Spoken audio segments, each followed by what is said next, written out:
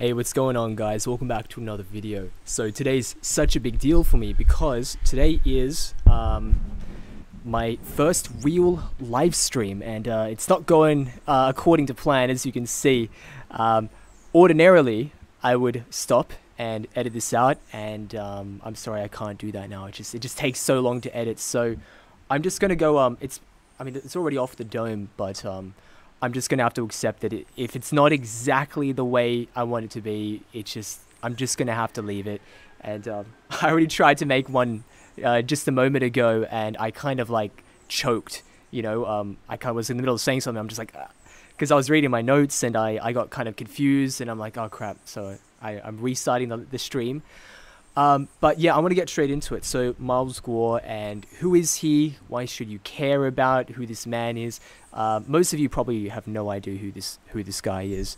Um, okay, if, if, there's no wind, uh, there's no need for the for the towel. Um, um so most of you guys have have no idea who he is, um, but he's he's a very interesting character. Um, that he's he's I would say it's he's someone that's very important to look at to um, to look to right now um, because he's a very interesting figure, and I think he, he's the kind of character I could imagine he could be a, a historical figure, one that you may uh, remember. Um, for good or bad, who knows how this could turn out in the end? But he's he's one of those larger than life characters that you, you know you don't really see so often. You know, he's a he's a very he's a very different kind of Ch- Chinese man. He's a he's a very uh, I guess you could say, flamboyant character. Um, and ultimately, if I could surmise his um, his journey so far, at least the journey since he's become relevant, we'll say since 2016, he's a Chinese billionaire who's, I guess you could say, a developer. He founded something called the, the Pangu Plaza, which is kind of like a chain of malls that you might find throughout China. I guess probably not anymore. And he fled uh, to America uh, because of uh, persecutions by uh, the Chinese Communist Party. That's uh, according to him. Um, but I, I will I will give the due, and i am going to talk more about this um, this situation. So if the audio quality sometimes isn't, isn't as good, it's just uh, yeah, it's very windy right now. Um, but yeah, he's currently embroiled in a, in a lot of drama, and he's found his way back into the news cycle um, in the West, of all places, uh, precisely because he's um, you know there's something about it. He's supposedly defrauded thousands of people out of a billion dollars, and he's used all these things like wire fraud and all these uh, all these different scams to be able to um, to be able to get money out of his uh, gullible. So that that's the narrative that's being told, um, and really just kind of suddenly out from from out from the woodworks. Because as I mentioned, you know, you may have not really heard about him. Um, uh, but suddenly he's kind of like in, in Western news media, not even not necessarily Chinese news media. You know, now of course he he lives in America um, because you know, because of uh, you know he's he's basically an asylum seeker there, um, which we'll get into.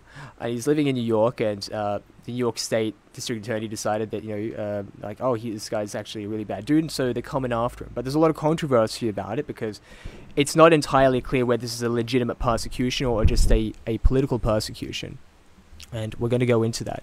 So there's um uh, there's a lot of controversy around this now because the he's, he's basically being um in in many ways attacked uh, precisely because of his connection to Stephen Bannon and Stephen Bannon for the most part is being attacked because of his connection to Donald Trump right so the the problem with with these kinds of situations is like are these all legitimate persecutions? Like, if you believe that, uh, um, you know, Donald Trump, Trump, um, I'm just going to call him um, Orange Man Bad. I don't even like saying his name. I'm just going to call him o- OM, OMB. So whenever you freak out and you go, you chuck a little tantrum, you, instead of saying OMG, you can say OMB, Orange Man Bad instead, right?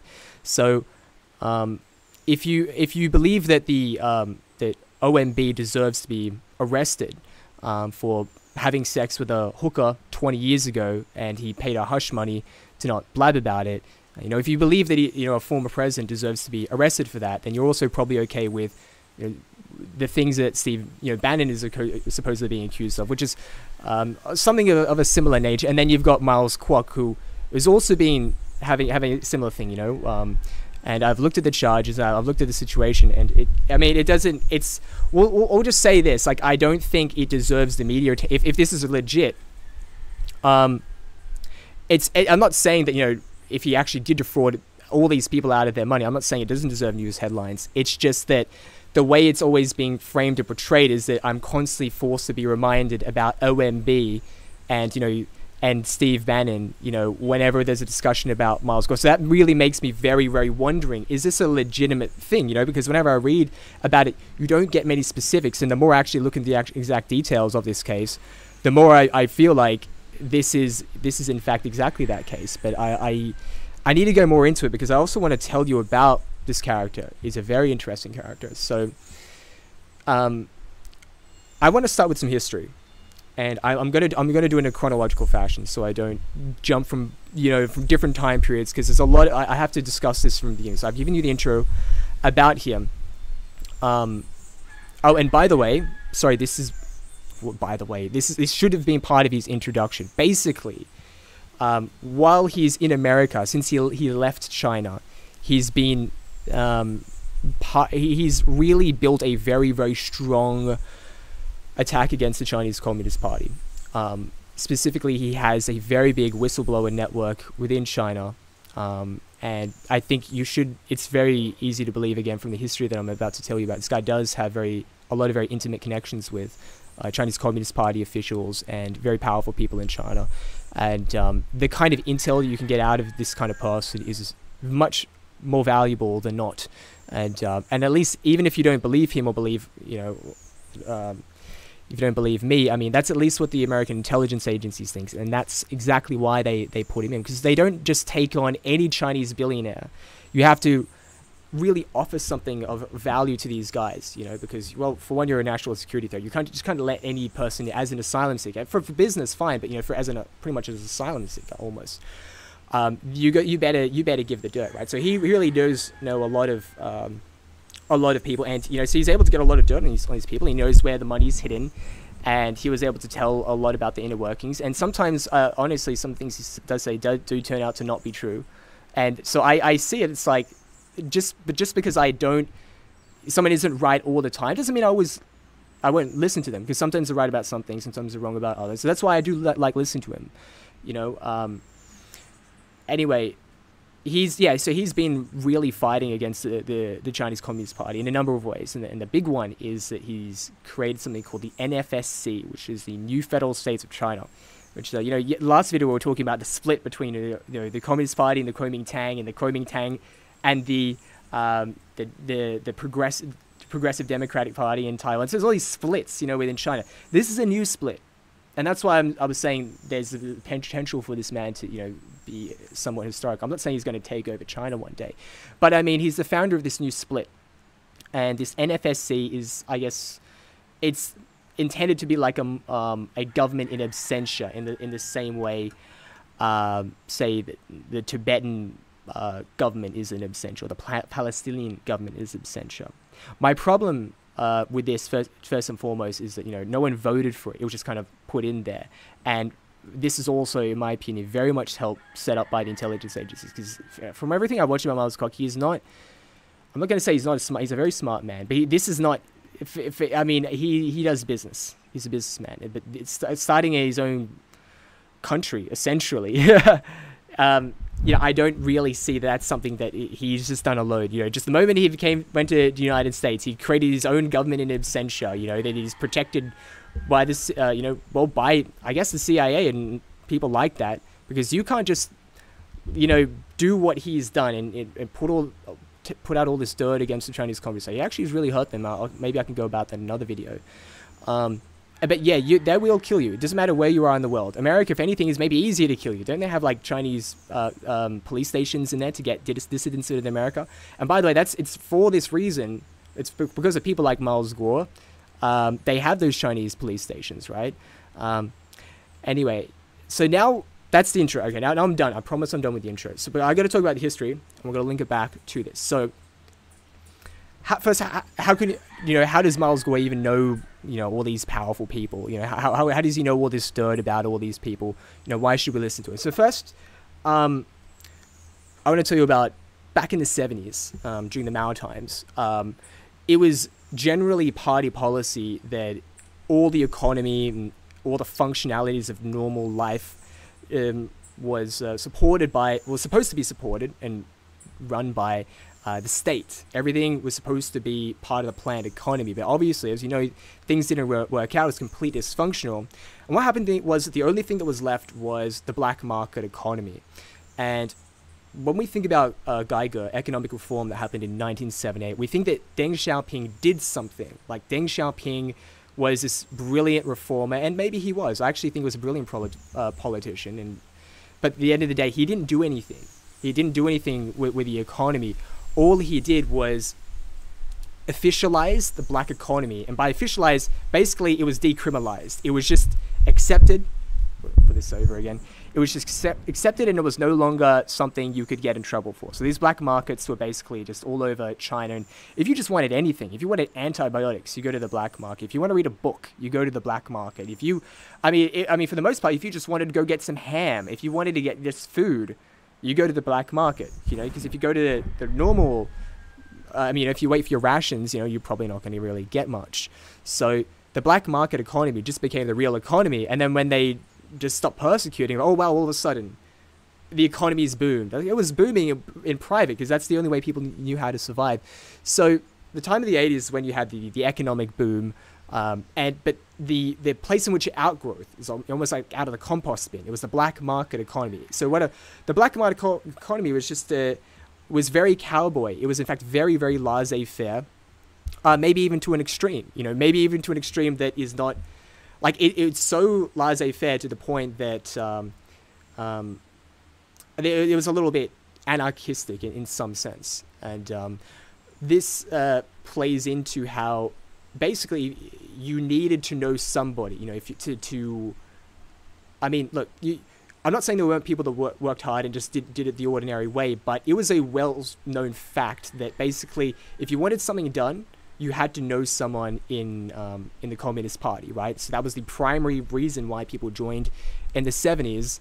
Um, it was just about you know kind of uh, getting ahead, and also the fact is that if you're in business, if you're in private industry, you have to know someone uh, to. I mean, to, maybe to get to a next level, not on a small level. It's not like you know you're, you know you're, you're just a butcher, and you know you've got to know the local cadre, right? Typically, it was well. I mean, in the 70s it was like that because you needed protection, right? But generally, uh, you know, in the 80s, it was like if you were to become bigger and bigger, you're gonna have to rub shoulders with some people because like, like there's like this old building there that was built during the during the the time of Mao. It's like this old abandoned factory that that was uh, like used for like like a commune, right? Like, um, what do we do with a commune? Well, you know, let's let's. I want to build something. I want to do like a real estate development there. Well, how are you going to do it? Well, it's you know the car. You know you got to know someone in the in the cadre just to be able to get certain things done. So um, generally speaking, um, you've got these with it, with the economic boom. You've got these different companies and individuals kind of rising up economically in that society. But part of their them rising up is that they they've got to have more and more friends, right? So guanxi is very very important. Guanxi means relationship, and that's the you know there's a very important aspect of that in business and also with people in, in the government. So. Um, you know, the, there was al- there was always this kind of marriage between you know private industry and the state on, on, on just like a personal clique level. You know, these these were very standard relationships. Um, you know, the private, the people in the private industry, you know, would of course help their friends uh, in the party, of course, but you know, with with paying them and stuff like that. Um, and but at the same time, they get these you know certain rights. So generally, it's considered that if you're very wealthy in China, um, you have a lot of personal connections to the Communist Party, and the wealthier you are, um, the more you would really need things to you'd really have to know certain people in order just to get things to move around. So um, that's the, the, the, kind of environment that uh, Miles Guo came up in you know so um, this is how he I for sure he knows a lot of people and um, he has a lot of personal connections um, with people in the Communist Party and he has a lot of uh, profound insights about the things that they're up to um, but for the they he, he, was not really you know like some kind of bleeding heart liberal secretly the whole time you know in China. I'm I'm sure I'm sure it was not the case just up until um, more recently in history. You know because um, it this kind of arrangement um, was comfortable for a lot of people in China and a lot of people, especially in business, you know, didn't really mind the, the situation in China because generally the government kind of left them alone because they respected what these capitalists, I guess you could say, okay, um, you know, we're, we're, bringing to the table, you know, and it's kind of a weird thing to think if you purely think if you think about it purely in, on a political level. Um, it's hard to imagine that you've got like literally people in the Communist Party who actually just very recently in the history persecuted uh, these uh, these capitalists you know, within the country, the people who emerged out of the black market economy, and then these same, these same kind of individuals that emerged out of this black market stew, these capitalists, the capitalist roaders, as they called them back in the 60s and 70s, they're now best friends. You know, they, they, they are very completely synergistic with each other. That was mostly the case. I mean, uh, officially it's still the case. Um, what is it? Socialism with Chinese characteristics. But um, this, there was, there, what was before this period again this kind of this synergistic marriage and what's currently now in what would call the Xi Jinping era has has shifted quite a, a lot. And what has basically happened is that you went from a very laissez-faire kind of system. And laissez-faire doesn't always mean good from a from a capitalistic sense. Like there's again like you, you the fact that you need to know people just you know to be able to you know to get ahead is obviously not a very good thing, and it does lead to a lot of corruption. But at the same time, things were so kind of wild west and free that people could almost do anything they wanted in a, you know, in in a sense. I mean, again, the black market start, kind of style thinking. You want to set up a, set up a stall here, sure. You want to, you can do that. If you have some opportunity to make money here, you can go do that. Um, no one's going to stop you, you know. But if you want to move ahead, maybe you do need have to know people, but you can do that if you wanted to, you know. So it's kind of like standard like the third world country banana republic type, type stuff, you know. You can do whatever you want, but you know if you want to get further ahead, you you go to grease and Palms. Um, so that's what I mean, like by laissez-faire, ultimate laissez-faire, more than say like even in the West, right? But this started to change um, in the Xi Jinping uh, years. So Xi Jinping, as you know, is the most powerful chairman since uh, uh, since Chairman Mao, and that's not uh, by accident. It had to be that way for him to, well, survive. Um, Chinese politics is not a monolith, and there's a lot of uh, factionalization within there, um, and there's a lot of different cliques within there. So, for instance, people have, generally speaking, loyalties to their um, to the different uh, to the different cadres within their province, right? and the person that someone might answer to, they might answer to would be someone that you know they might even live on their street, you know, or might be within that on the, it will be on the district or city level, right? So there's loyalties within cities, loyalties for province, pro- loyalties within the with even say different language groups, like if you speak Cantonese, um, uh, and but generally, of course, everyone answers to Beijing. But at the end of the day, sometimes like you know, you might answer to someone on the street, that person might answer to someone in the city, and then that person in that city might have to answer someone in Beijing. But that gap is enough where it's like certain tribes and cliques consolidate and have more interests with each other. And then of course there's also certain overlapping business interests and you know so it's not just like everyone just follows one person like in the army. It's not like the army at all, right?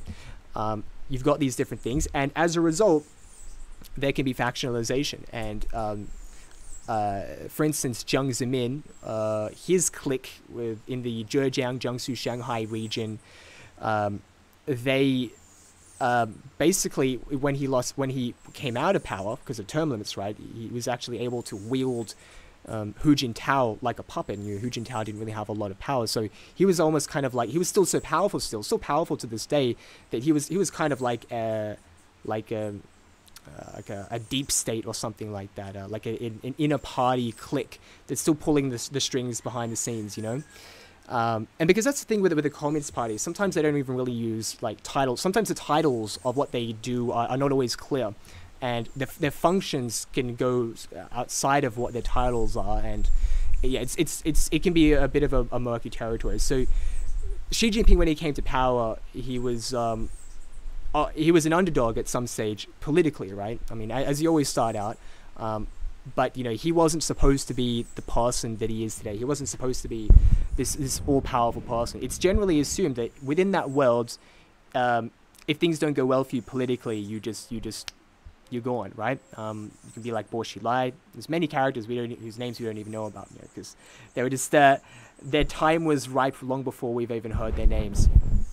Um, but Xi Jinping bucked that trend. But in order for him to really consolidate power for himself, he, he went on these anti corruption campaigns that swept through the nation.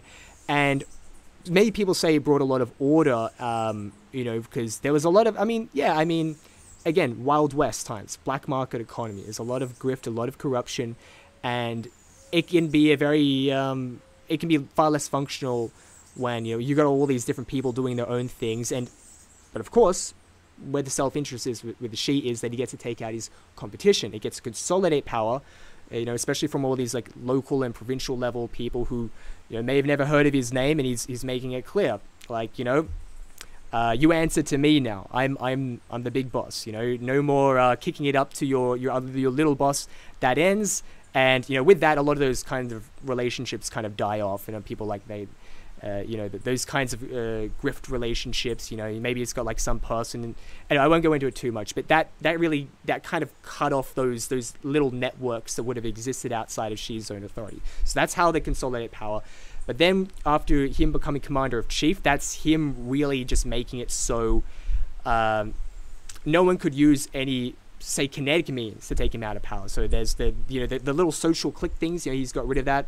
Then no one could come after him. You know using uh, violent means, which uh, can still happen. You know, so Jiang Zemin, you know, he's he basically had the uh, the equivalent of like their KGB basically for a while, and um, Xi's basically worn that down to a nub as he's become more powerful. But you know, they could have always used it against him, and they they use a lot of spy stuff. You know, I mean, they, they'll they'll listen to your conversations, they'll they'll try to smear you. So it's not obvious that it's like always like. Um, you know, they'll come after you, like come into your house with guns and knives, a coup. You know, it's kind of like yeah, it's very um, um, very cloak and dagger type stuff. You know, but that's that's that's how they get you. I mean, any country, right? Um, and then lastly, what Xi did was uh, well, you know, supposedly they voted on it, and that was to to get rid of the term limits. So what I'm trying to describe is a situation in which you have a very laissez-faire system, for good and bad, um, that kind of existed after Mao. I wouldn't say it was a vacuum, but it was a, you know, it was a more freer kind of time. And then after with Xi, we've got a consolidation of power in different ways on a, you know in terms of uh, consolidating power from his rivals, um, uh, political power and um, and yeah, and and yeah, yeah, and even just destroying up his base. So The point is, this this ties in with an overall consolidation that happens on another level, and that's the on the private level. So we're talking about this harmonious, beautiful marriage between the communists and the capitalists, and love each other. Um, and now we've right, and then we got um, uh, Xi Jinping, who now kind of wants to subsume uh, the other side of that relationship, and he's starting to go after the the private sector, but not not in a not in a way that was like, um, say, during the Mao era, where it was like we're going after the capitalists again. Uh, that's it's not definitely not uh, part of the idea, the ideology of Xi Jing, of uh, Xi Jinping thought. It's um, a socialism with Chinese characteristic thing, right?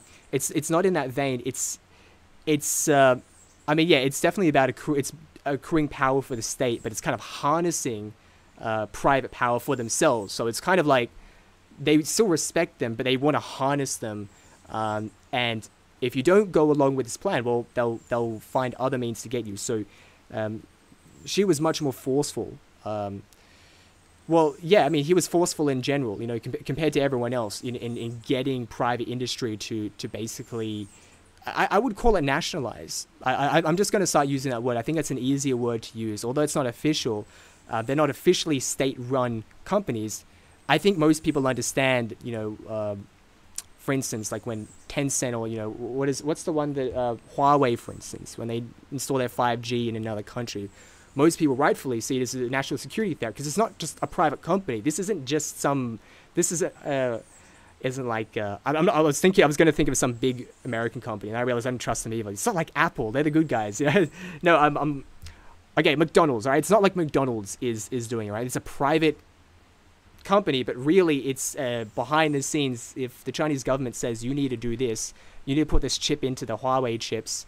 Um, you need maybe it's spyware. Just saying maybe it's spyware. You have to do it, right? Everyone gets that by now. Um, but this it, this this wasn't always. I mean, sorry, it was always the case. Like the the um, the state has always, uh, always, you know, since its found, since its founding, always tried to to to bring the uh, uh, the state into relevancy, um, you know, by actually uh, being part of the production process, and, and that's how it keeps itself relevant. The plant part of the planned economy, right? Um, but you know, it's kind of doing it in a little bit of a different direction. So it's kind of like doing the same things as before. Um, you know, wanting to have like a strong central state with a kind of planned economy, but like with again different characteristics. And I've referred to this also as fascism, um, just by the original Mussolini definition of a, a marriage between um, the the private industry and state, and that's that's what it was. But before before it was kind of like a a, a very mutual kind of thing. Um, that both parties had power, but now it's come to the point where the, the state is really trying to just now turn it into a horse, uh, trying to turn it into a workhorse for itself, where it can kind of just whip it and make it do exactly what it likes, right? So, how did we get from Guo into this? Because it's from this environment where you've got, say, Guo Wengui, he's built up his Pangu Plaza, he's a billionaire, you know, he's he's worked his way up. Um, yes, he I do believe he's he had to know a lot of people. Maybe he had to grease some palms, but I also think he had to work hard. I don't think you don't I don't you don't just get ahead just by greasing palms. You know, I think he actually you know he he built hotels, he built a lot of things in China, right? I mean, that's a contribution to the country, right? But at the end of the day, um, I only I'm only saying what I what I'm saying what I'm about to say now based on the fact I listened to some of his pre, um, his secret phone calls um, with certain Communist Party officials. I listened to this a while back, and um, for those who want to accuse me of like maybe I misheard something and my Chinese sucks, uh, it, was, it had English subtitles, so I, I certainly haven't made any mistakes there. Um, but basically, it's it's like an hour long um, dialogue, and basically, it's he's talking to um, a, a communist um, like I, I, it was like uh, yeah. I've, someone in the police or something. I, I, can't, I can't remember who it was, but it was, it was someone very powerful. It was basically trying to convince you know, Guo Wengui like kind of sell his his uh, like shares in his company or something, or it was like he was okay. I, I it was a while since I watched it, right? So I'm gonna have to paraphrase. Generally, he wanted him to basically sell his company or uh, get more allow certain people into his organization that would basically render him obsolete within his own organization and well uh, he would basically be give, giving over the keys to the kingdom um, and you know he was Guo Wengui is kind of like playing along. Oh yeah, it's great. I don't know. Yeah, brother. I don't know. I don't know. I'll think about it. You know. Um, so that that's kind of like the the context. You know, you. I, am not saying it happens in one call. I, I, I I'm not saying that you know that just that one call proves everything because actually it's that's not actually how they do it. They just call you don't become a billionaire. One day they call you up, hey, like you know you've got to, you know you you've got a uh, Igor, you know you be you be a patriot. It's not like that. I mean, they do it over time and they already know each other. You know, they become ingratiated with each other and they cut deals and they try to be more diplomatic about it. If you keep your, your feet firmly planted, they come after you a bit harder and it might happen over years. You know, they muscle in on your territory, you know, like, like mafia style. But again, they, they, they don't, it's not just like, just, they just kick the front door down. It's not like that. Sorry. They, I, I don't know if you heard that. I said they don't just kick the front door down. Um, but yeah, so I was kind of watching towards a little bit of the end of the saga, you know, so that this recording was like in 2015, just the year before he left. Um, and they started like, yeah, pressuring his family members or something like that. And um, um, yeah, he ultimately decided to leave America because he decided that, you know, he's, he's going to lose everything. They're going to, they're going to take everything from him. He knows how these people work. He's seen them do it to other people. And he understands if he continues to stay in China, they'll take every cent from him, right? And you might be like, again, well, he's, again, all that money was corrupt as I mentioned, I, I talked about this just now. I don't believe all that money is, is, is corrupt. It's not just, you know, they stole money from the Chinese citizens and they left. I mean, the, the people have done, they're being executed. Like, um, it's in China, you know. Um, I don't believe that's, I really don't believe that's the case. You know, he's got a real company to his name. You can see his stuff. He's, he's not, anyway, the point is, he understood that they were going to take everything. And if he wanted to keep that, um, and he, they would come after him, and if not him, they would start going after his family, which is um, what the Chinese Communist Party are very fond of doing. Um, so he decided to pack up and leave, and um, obviously he's trying to take his money with him. That's um, that's standard, right? And it's not easy to get your money out of China in general, um, and it's certainly not even easy to money around if you're a, a billionaire from China uh, and also you're kind of being persecuted by the Communist Party, and you're taking that country, that money to a country that's already very suspicious of the country you're coming from. It's very messy, right? So typically, the way you do it is you're just gonna have to have a lot of friends, a lot of family in different places with a lot of different bank accounts in different places in the world, and you got to just do some magic and try and get it all in one location at the end. Well, I mean, maybe multiple locations at the end of the day. But the point is, getting your money out is extremely difficult. So I use Bitcoin, plug for wildwest.trade. More about that later. But it's not easy um, to get your money out of China if you're not using Bitcoin. If you're using Bitcoin and peer-to-peer exchanges, it's super easy. But if you're Guo Wengui, a lot of money, it's it's hard, right? And that's why I feel like this is kind of tied into, um, you know, the whole grift thing, the charges of wire fraud and stuff like that, right? Because if you're um, if the, people want to persecute you and you have that those kinds of financial transactions, it's just cinch. You could do it to anybody. You could do it to me. You could easily get anyone on wire charge fraud if they moved enough money around, especially if it's from China. Especially if it's from China, right? Um, but he, the, the journey doesn't end with, with Guo Wengui. What happened was that he was able to go to America, in my, uh, in my opinion, because he had valuable intel about the inner workings of the Communist Party and a lot of very, uh, very scandalous information, and also just knowing where the gold is buried. Like Wengui can tell exactly like this communist, this high up Communist Party uh, official. He's, he has his money is in Bahamas. Here's a picture of his house. Da da da. You can do that, and um, I'm sure they've been working a lot with each other. Um, uh, on that, you know, and just spilling the beans. And he's also, you know, been creating like he's been making these YouTube videos and stuff like that. Where he, he talks about some of the some of his dirt that he has in the Chinese Communist Party, and um, and yeah, and then he's built up this NFSC thing. So I I, I, t- I tie this into the beginning. My memory is uh, shot, so I actually can't remember if I did I did I talk about like his connection with with the CIA and stuff. If I haven't, just to just to reiterate, again, you cannot survive in America um, if you fl- if you fled the Chinese Communist Party and they're baying for your blood, especially because you, you've hurt them. You, you really really hurt them. He's actually done a lot of things, telling them, um, telling the world, uh, and of course America, exactly where the gold is buried, exactly what the dirt is, exactly how the Chinese Communist Party operates. Um, they obviously want to kill him, and for the most part, it's actually easy to do.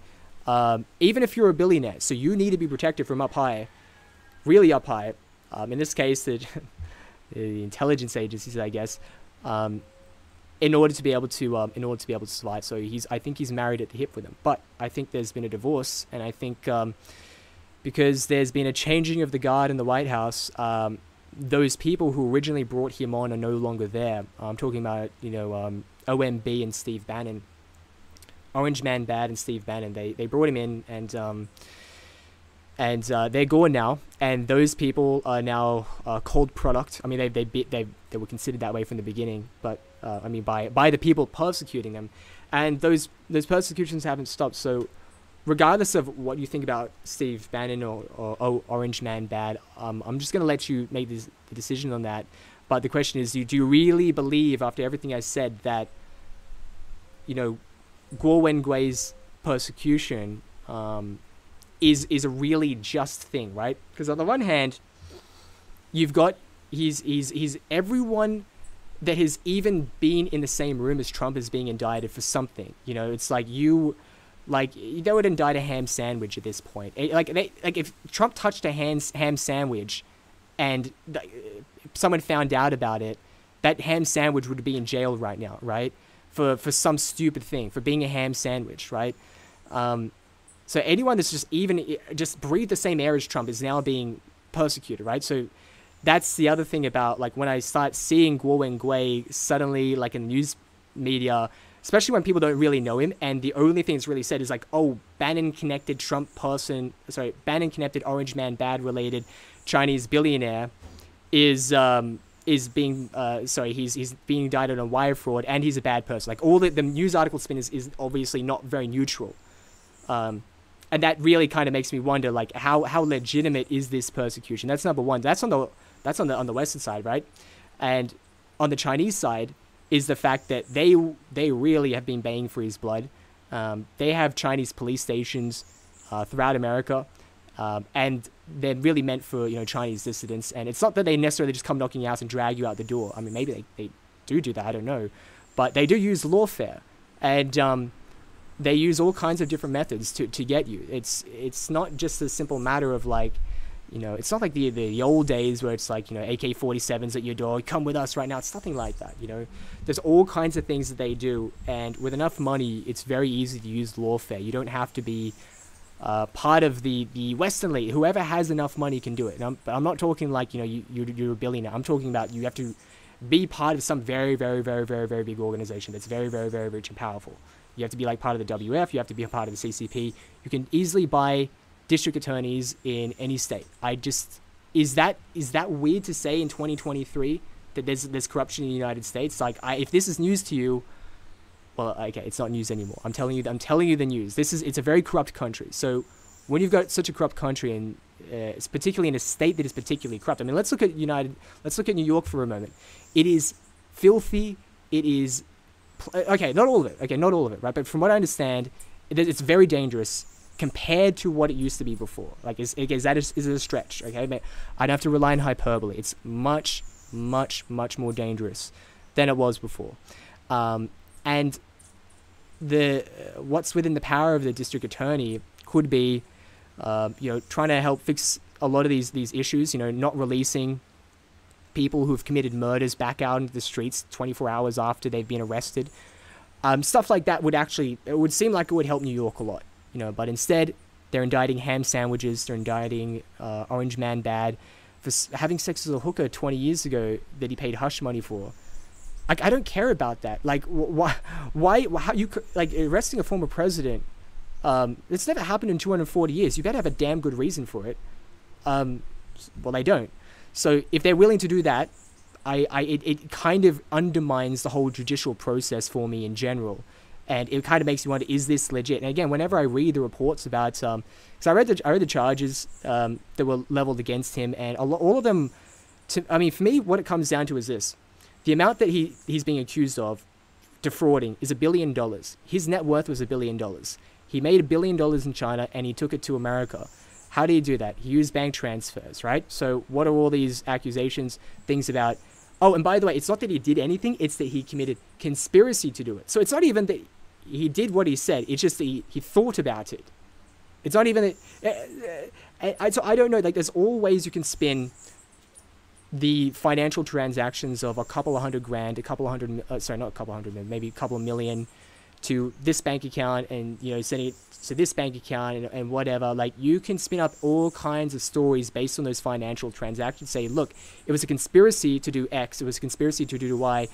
And obviously, they don't have or even, could even read the financial transactions that actually allowed him to make this kind of money. You know, obviously, I mean, he, you know, he, I don't know, maybe, I don't know, they, they, I'm just saying it's, it's opaque. And within that opaqueness, it's very easy to, to spin up stories that don't exist, you know, and I'm, I'm just more aware of this stuff because it's like, um, you know, because I'm always in the crypto stuff. It's like I use crypto stuff to avoid these kinds of entanglements, right? And um, it's um, when I was in China, right, uh, the way I would get money, because I was so aware about all the, the, the, crap that would go on when you're sending money abroad, um, that uh, I, I just, I didn't want to use bank transfers at all, right? Like, it could be that, like, my boss decided just not to pay tax. If I decided I want to go send that money back home to Australia, um, if, he, if my boss didn't pay tax, I could, I could get in trouble for that, you know?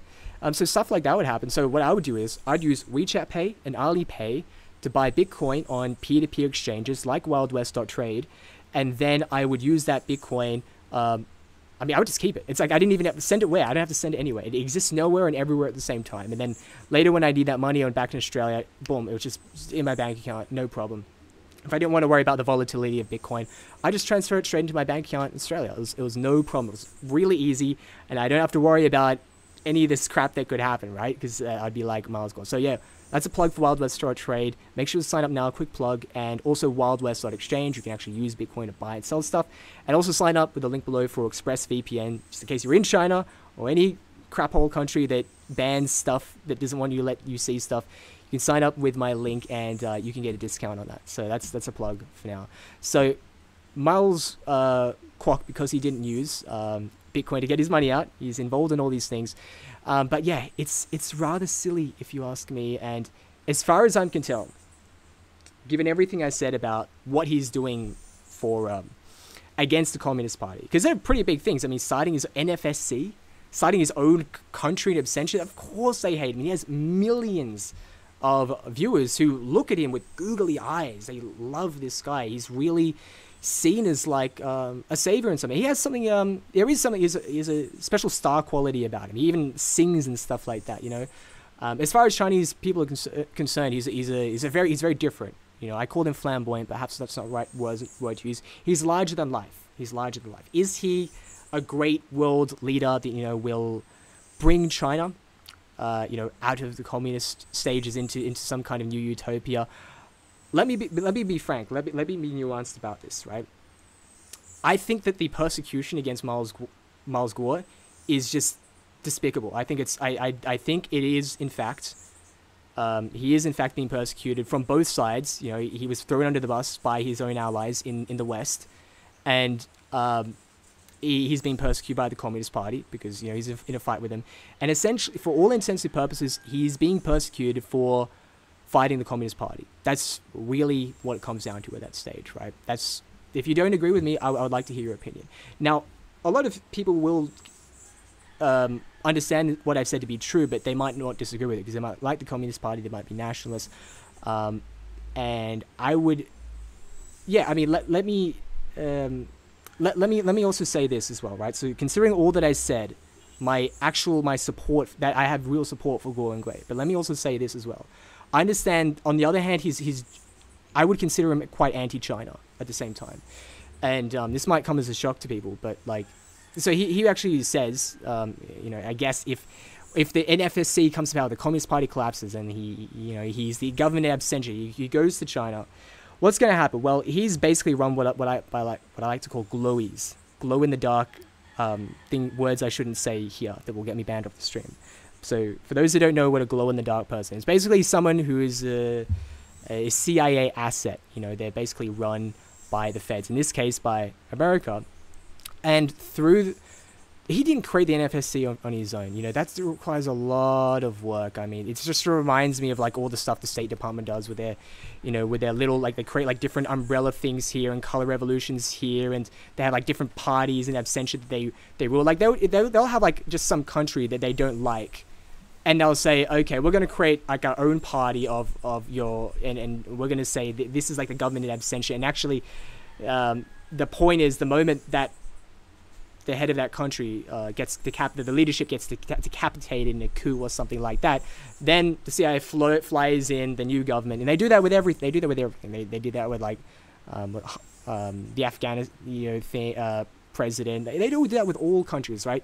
So to me, that's what really what the NFSC is like on, on that on like the on like the CIA level, like the military level. Like they support him because he has the ability to do that, or at least has the ability, even not to do that. I think it's it's very far fetched, but it's got the ability to at least split um, the the uh, continue to split the identity of of China, and not uh, have people to continue to consolidate around the ideology of the Chinese Communist Party. So he's kind of meant to be a foil to that, particularly the Chinese in the outside free world. And um, this is, uh, I think, a very effective strategy. But I also just kind of want to almost think about it just from the perspective of actual real Chinese back home, because the interests of the Chinese people that actually live on the mainland are completely different to the Chinese that live overseas. So if you live in the Chinese overseas, for the most part, a lot of them um, have very sore memories of the Tiananmen Square because I, I think about anyone over the age of 50 has 40, yeah, 40, 50 years old is kind of like of that age range where they experience that. And if they live abroad, the chances of them being educated and kind of being of that generation is very likely. And if they left, you know, during that time, they have a lot of these kind of older, very, I'm going to say older, like more, more freedom orientated opinions about the direction of China. And many of them fled during that time um, to the west, and um, yeah, so there's a real uh, you know hankering for freedom, I guess you could say, amongst the foreign Chinese and also amongst the foreign Chinese in the world. Uh, generally, they're from the provinces that are kind of yeah, they're a little different culturally, right? And they, they um, may, they also are more likely to have uh, Western values, but the ones in, in the mainland are, are quite different. And from their perspective, I, I, think from the ones that live there, some of the things that Guo Wengui, and if he was ever, if NFSC ever did come to power, in China, like I just want to say like what some of the things he said he would do. One of them is um, he would basically partition China like like the good old uh, century of humiliation days, and he would basically say, okay, Xinjiang, you can be your own country.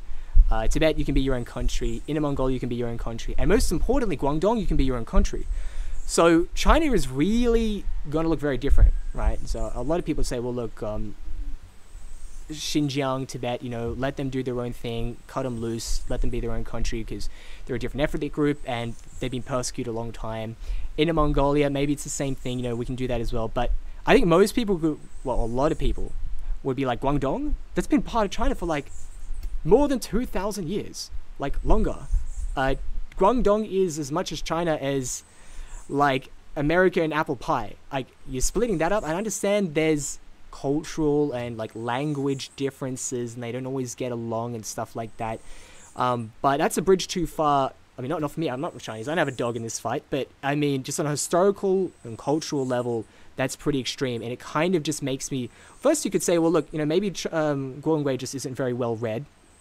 Uh, maybe he doesn't really understand history as well, and he doesn't understand. He's been away from the country for too long. You know, he hasn't touched grass. But that's one way of looking at it. But on the other hand, it kind of just also makes me think of like, is this ultimately going to just be like a Trojan horse that kind of carves up China? If somehow, like, again, it's so far fetched. I do not believe the Chinese Communist Party is going to be decapitated. Like, you know, their leadership's going to be decapitated. It's not going to work like that. Not going to be taken over. It's not going to. But you know, is is an thought experiment, or at least in terms of what he's promoting.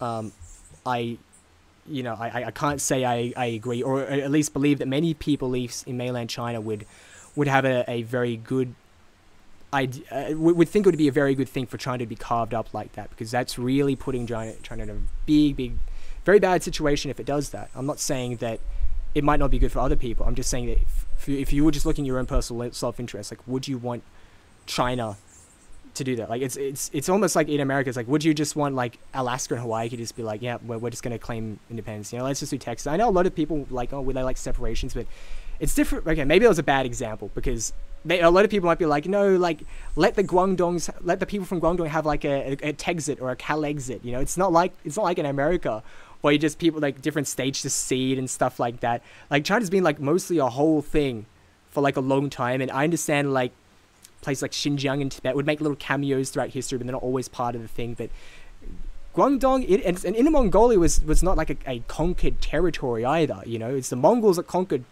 China and then brought the Inner Mongolia, Inner Mongolia ter- territory into China itself, right? So it's it's the other way around.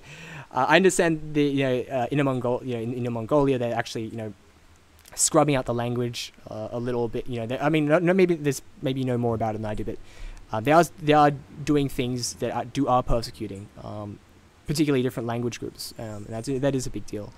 But again, like total independence, like you know, let bring Inner Mongolia back to Mongolia. I mean, when when the when the Qing and um, collapsed, you know, there was there was war with, uh, well, you know, it almost became a much bigger war with Mongolia, just about like the situation, who's going to get it. Now, Guo Wengui just going to give it to them for free. I personally feel like if someone who came up with this plan, it was came up with someone who's just very historically illiterate, um, or someone who is um, intentionally trying to uh, destroy China and again, I'm saying this someone without a dog in the fight. It's just uh, that's ultimately what I think would happen if Guo Wengui actually did the things he would say would do. It, it would not be good. He also mentioned about he in his in when it comes to politics and, and government, he, he said he wanted lots of foreigners and, and dual dual. He specifically specifically said dual citizens to come into office to give like their you know their fresh foreign ideas. I mean, this struck struck me as very odd. Um, and it is considering the last video I made about the Mansfield uh, Fund and uh, the the Taiwan Fellowship Agreement. This is literally what they did in Japan. Uh, sorry, what America, the State Department specifically did in Japan, and Tai- and what they're doing in Taiwan. And I mean, they're just uh, filling the country with with their own apparatchiks. The State Department specifically and they're using them really to to further American interests for themselves at the expense of the country. I talked about yesterday how about you know, these kinds of people have, have helped, you know, coerce and uh, Japan into bending the knee for American economic interests at the expense of their own, and how they're doing these kinds of things in Taiwan as well um, to steer direct the policy direction. What I in what I can only assume would be a more pro-American and anti-China direction. So that to me is a real concern. It, it seems that Guo Wengui I, I am not saying he just reads he's reading off a script and CIA is giving to him. I'm just saying that he's an asset of them. Um, that's how he, he's alive, and um, a lot of the things that he would do if he was to, to actually bring this NFSC thing to China would, in my opinion, be very destructive to China. So that's my caveat about Guo Wengui. Like, I like him. I disagree with him. At the end of the day, what it really comes down to is I don't like people who are being persecuted unjustly. Like, if he did actually do those things, then he deserves to go to jail. But it doesn't seem to be that he actually really did anything. And it seems that this is another media witch hunt. And I'm actually shocked that it's come to a stage where I speculate. I only speculate, but it does feel like there's a lot of um, very, very um, well cooperation between um, China's biggest enemy, which is sorry, America's biggest enemy, which is the Chinese Communist Party, and the people that are persecuting Guo Wengui, which are the same people really persecuting Bannon and Trump, and the the very molecules that were breathed out by Trump. You know, there were also those things are being pers- also those, those things in jail. Like just a germ that came out of his mouth. It's it's now probably in jail right now. You know, that's basically the state of uh, of America right now. And again, you, the thing is as well about uh, what I what I said about uh, Guo Wengui is the same for any of these political figures. Or it doesn't matter if it's Trump, like Bannon. It doesn't matter whether you like or disagree. With me. If you really it, it, it's just that the, these things are just uh, they're, they're getting out of control. I just I can't stand it. You know, just there's always in the news media cycle, Orange Man Bad did another thing. Oh, this person that talked to him last year is now in trouble for this, and now this thing, and now this thing, and now this thing, and it's just like really he did all those things, and also um, and it's just like I don't I don't know. I really don't maybe I need a survey. Like how many people still actually believe in this this orange man bad nonsense right? The the Russia thing for instance it's it's now clear that he didn't really do anything with with Russia. Um, yet they're still going after him for it despite the fact that it's it's it's over. Like it's done. It's still it's over right? And they still they just won't stop. They just keep banging on about it. And so I feel like they've lost their credibility. It should have been clear a long time ago oh, sorry, when I say they, I want to say these prosecutors, right? Um, they're always coming up with something new to attack someone for something they didn't do. So ultimately, what it is is that you've you've got the, these prosecu- these prosecutors. I don't have think they have any credibility anymore, and I think these these are all very politically motivated. So ultimately, I think to surmise this video is uh, I think Guo Wengui is at least for the things that he's being accused of, it's probably innocent.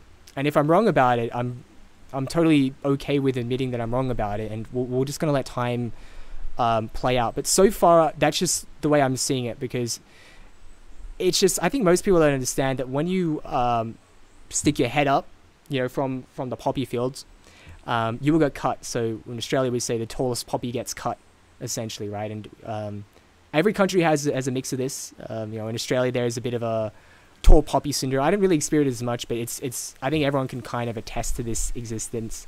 Um, you know, other countries say crabs in a bucket, and I think a lot of people just when I when I read the comments, especially like the Chinese comments, in a lot of these videos um, were like, "Yeah, let's get him. Screw screw Wengui. I hate him. It's so glad they got him in trouble. Ha ha ha!" Like, um, those are like the Umal comments, and it's just kind of like a lot. A lot of what they'll say after would be like, "Wow, look how rich he is. It's so glad we're going." Of course, like there's kind of like a, just a deep envy um, for someone else's success that I, I, I noticed. So a lot of these people would be like, uh, like, because uh, this guy was very ostentatious with his wealth. It's, it's up to you whether you agree with whether someone should be ostentatious or not. But the, the fact is, a lot of people would just be, just look at his wealth and say, oh, if he's rich, it must be because he got it all from graft. You know, they, they couldn't have envisioned that someone could actually work hard for their money and and actually and actually do it. And I don't know, maybe we'll, we'll find out later. But I just can't help feel like a lot of this, the, the witch hunts that you, you'll find, it's just the the minute. What do they call it in 1984? The minute of rage, uh, right? So there'll be some like. Uh, persecuted figure in the 1984 universe, and everyone would who has like suppressed um, I would say suppressed dopamine, you know, because they're not moving up in life. Their life has no meaning. Their life is completely garbage. But for like a minute, they get to feel like they have power, um, and they can do it in like a safe environment. So they can they can get out all their angers and frustration about how crap the world is and how crap their lives is. For a brief moment, um, by kind of being like, yeah, get that person. Yeah, I'm better than him. Yeah, he's rich now. Look at him. Yeah, let's get him right. And they, they in order to feed that, a lot of people are willing to lie to themselves or accept lies just to be able to have that. Uh, and I, I didn't really mean for it to get on this kind of tangent, but it's just to me this has been like a very big red pill over the past two three years. Where I realized that the the the ethic and way of life that the culture uh, of the cultural revolution years in China, it's like that exists universally for everyone, and everyone thinks that no, I could never have been like those crazy students during the 60s and 70s in China. What do you see around you? Like, just turn on the TV, look how people are acting. They're acting exactly like how they were in the 1960s and 70s in China, completely out of their mind. Um, so, this is ultimately what I think it's, it's just come down to. It's um, there is a lot of opaqueness, as I've discussed. I mean, this video is going to run a long time. Just talking about this one, this one little character. I had to talk about all this history. There's so much nuance in it, and despite all this incredible nuance, even here, I'm saying, like, as someone who's studied this a long time, like, you know what? Like, I think I know a lot, I'm, I'm, I'm still just waiting and seeing, versus, say, the average person who doesn't know anything. They get all their information from the news media. They have no aptitude in this stuff, but for a brief moment, they get to go, get him, let's get him, yeah, kill Jesus, let's release Barabbas. You know, there's a lot of that that kind of vibe going. I remember reading that, like, I mean, I, re- I read that obviously the Gospels like gajillion times, but you know, there's some parts where you can't really relate to, and it's like, why, why would they just, why would the, why would they release Barabbas over Jesus? It doesn't make sense. Jesus didn't do anything. Barabbas is literally a murderer. Um, but maybe it made more sense with the context at that time. Like if you just read that, you're like, that's almost comical that that would even happen. It doesn't make sense. But maybe if we were there at the time, I mean, it's it's kind of maybe it's believable for various reasons. It just maybe there's certain things we can't really relate to now. But we can see it within our own individual context that people still have that kind of desire to just just gnash their teeth, um, you know, just for the opportunity to um, to I guess spite something that that they uh, they they think um, is is better than them or is or something like that. Because uh, again, as far as I can tell, um, I do think Guo Wei is a hero. Even if I disagree with him, even if I disagree with a lot of things, I just think he's a. I really do think he's a Hao Han. I think he's a Hao Han. Honestly, um, um, Chinese means um, good guy. But a, a, good guy in the, in the Han definition is more complex. There's good things about him, there's bad things about him. Uh, but I don't hate him, and I just I'm just kind of sickened by the um, just the, the witch hunts, you know, uh, that just that can exist out of nowhere. I mean, no one, very few people knew who he was, and just suddenly he's in the news, and all the news is suddenly bad. Um, that that is not natural. That is not an organic thing, right? So first they, they push it out there because they want people to feel a certain way, and then when it reaches the masses, then the masses do the whole minute of rage thing, and they'll forget about it two seconds later and haven't learned anything. But um, I hope by watching this video you were able to learn something. I think I said everything that I want to say, um, but just bear with me for one minute. I'm just going to just check in to see if there's anything else I need to tell you about um, this particular thing. Um, okay, that's pretty much it. It's probably too long anyway, but uh, yeah, just one final plug uh, for the sponsor of this video, wildwest.trade, wildwest.exchange, and um, sign up for my ExpressVPN link. Um, you can go into wildwest.exchange, actually use your Bitcoin to buy real things. You know, we've been waiting for adoption for all this time, and people are like, "When I, I don't want to buy Bitcoin because I can't do anything with it." My friend, you've you've missed the boat. For a long time, you were able to buy things in Bitcoin. Um, I would say maybe the biggest things that were holding it back were just uh, transaction transaction fees, you know. But we've got Lightning Network. We've got a lot of different um, different tools we can get around it. You know, you could use stable coins and use different chains like uh, Binance Smart Chain and all these different things. So basically, it's a bit of a learning curve to it. But when you when you get into that learning curve, you can find that you can just get lost in this world. You can use your Bitcoin to do business. You could do your Bit- use your Bitcoin to obviously do all the various financial transactions you would otherwise. You know, you can use it for DeFi, and there's all kinds of things you could do in DeFi. Um, but ultimately, you can just use it to buy and sell things, and that's what it's supposed to be for. So, Wild West Exchange, you can use that buy real life things, buy food. You can buy food there now. That's incredible. I have not really found anywhere where you can buy food with Bitcoin. I think it's going to be hugely valuable in the future. And um, yeah, so uh, that's all she wrote. I'll see you next time, guys. Make sure to subscribe and check me out as well on um, other, some of the other platforms because um, I'm, I'm I, I feel like I'm less and less friendly terms with YouTube as I speak more. So um, make sure to sign up on um, uh, sorry subscribe on BitChute, Rumble, and Odysee. So see you later.